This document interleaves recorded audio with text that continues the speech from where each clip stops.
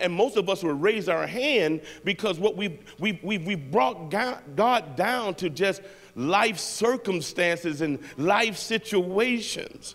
And we say, God, you're only, oh, oh, don't, uh, don't, don't shoot me. You're only good enough to fix my problems that I created. In this world, you shall have tribulation.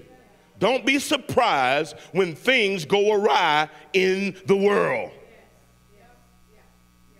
But then he tells us, who are his sons, who are his children, be of good cheer. Why? Because I've overcome the world. And if he's overcome the world, guess what you have done?